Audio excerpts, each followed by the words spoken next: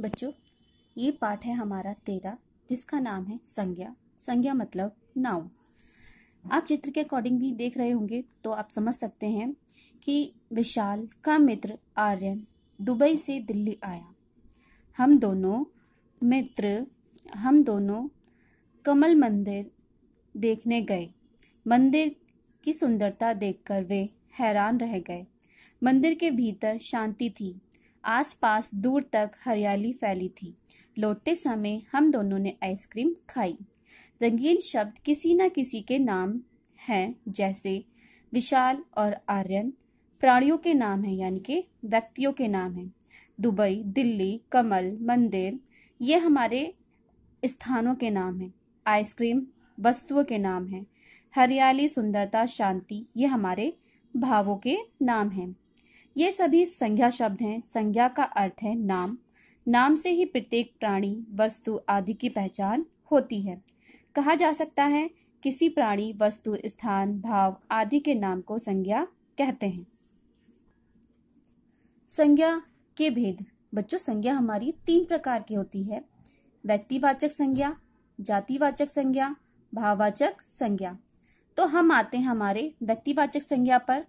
यहाँ पे लिखा है मैरी कॉम ने मुक्केबाजी में देश का नाम ऊँचा किया। देश विदेश के पर्यटक ताजमहल देखने आगरा जाते हैं। ऊपर लिखे वाक्यों में मैरी कॉम एक विशेष महिला यानी कि व्यक्ति का नाम है।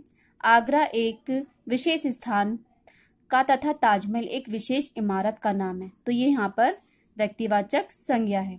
अब हम देख सकते हैं कि महात्मा गांधी, मदर टेरेसा अमिताभ बच्चन, राकेश, ये सब जो हमारे नाम से शो हो रहे हैं, ये हमारे व्यक्तिवाचक हैं।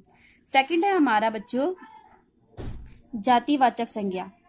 तो जातिवाचक संज्ञा में हमारा क्या है कि बच्चे मैदान में पतंग उड़ा रहे हैं, पक्षी पेड़ों पर चहचा रहे हैं। अब यहाँ पर जो बच्चे हैं, यहाँ बच्चों को नाम से शो नहीं करा गया। अब यहाँ पे देखो, एक, दो, तीन, चार, तीन बच्चे हैं, तीनों बच्चों के नाम भी होंगे, लेकिन यहाँ नाम से शो ना होकर सिर्फ़ बच्चे रखा है। अब बच्चे बच्चे जो हैं, जातिवाचक में आ गए। इधर, पेड़ पर पक्षियों। यहाँ पे पक्षी बहुत सारे हैं। अब एक पक्षी का नाम से शो नहीं हुआ है।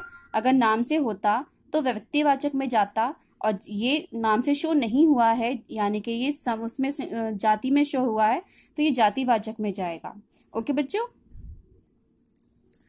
अब आता है हमारा भाववाचक संज्ञा। भाववाचक में हमारा पिक्चर के अकॉर्डिंग देखते हैं। कमरे की सजावट देखकर माँ बहुत खुश हुई। नीलिमा और अणिमा में गहरी मित्रता है। यहाँ ऊपर जो लिखा है सजावट और मित्र, ये भाव प्रकट कर रहे हैं, ठीक है? जिस शब्द से किसी व्यक्ति स्थान या वस्तु के गुण, दोष, दशा, भाव या स्थिति का बोध हो, उसे हम भाववाचक संज्ञा कहते हैं। इसके एग्ज़ाम्पल भी देख लेते हैं, जैसे सत्य, श्रद्धा, विश्वास, प्रेम, अहिंसा हरियाली, सुंदरता, बचपन, बुढ़ापा, मानवता, हार, जीत, पढ़ाई, ऊंचाई आदि शब्द जो है हमारे भाववाचक है। अब बच्चों, इसमें हमारे संज्ञा के दो भेद और आते हैं, ठीक है? दो भेदों में माने जाते हैं मतलब संज्ञा के दो भेद और हैं। लेकिन ये आते हमारे जातिवाचक के अंतर्गत हैं। जैसे पहला है हमारा समुदाय वाचक संज्ञा और दूसरा है हमारा द्रव्यवाचक संज्ञा।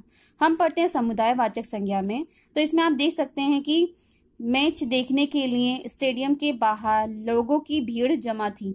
यहाँ पे यानी कि बहुत सारे लोग हैं, बहुत सारे। तो ये हमारे समुदाय में आएँगे, समूह में आएँगे, क्योंकि ये एक लोगों की भीड़ है है ना? फिर है जंगल में यहाँ पे जो हिरन है, ये हिरनों का झुंड है। तो ये झुंड जो है हमारा समूहवाचक में आएगा, क्योंकि यहाँ पर बहुत सारे लोग यहाँ पे समूह की बात हो रही है। भीड़ और झुंड शब्द हमारा समूह समुदाय या समूह का बोध करा रहे हैं। तो ये समुदाय वाचक हो गए, ठीक है? अब आता है हमारा द्रव्यवाचक द्रव्यवाचक में इसमें है माँ, घी से माँ, घी में पुरिया तल रही हैं। मेहमानों को चांदी के बर्तनों में खाना परोसा जा रहा है।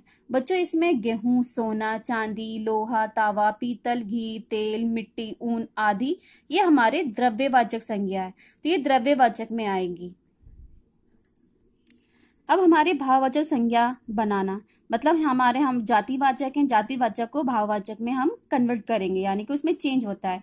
इधर जातिवाचक है, उधर भाववाचक है। तो मित्र, मित्रता, मानव, मानवता, दास, दासता, बच्चा, बचपन, लड़का, लड़कपन, स्त्री, स्तित्व, पंडित, पंडिताय। ठीक है? ऐसे ही यहाँ पर भी हमारा ठीक है, ये सारे जो हमारे जातिवाचक संज्ञा को हम भाववाचक संज्ञा में चेंज करते हैं। जो हमारा इसमें लिखा है कि भाववाचक संज्ञाएँ चार प्रकार की, चार प्रकार के शब्दों में बनती हैं। तो यहाँ पे जातिवाचक संज्ञा से आ गया, सर्वनाम से आ गया, विशेषणों से आ गया और क्रिया से आ गया।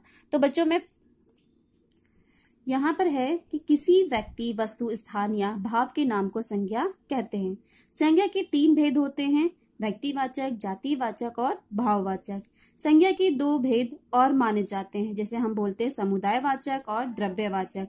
भाववाचक संज्ञाओं का निर्माण जातिवाचक संज्ञा, सर्वनाम, विशेषण और क्रिया शब्दों से होता है।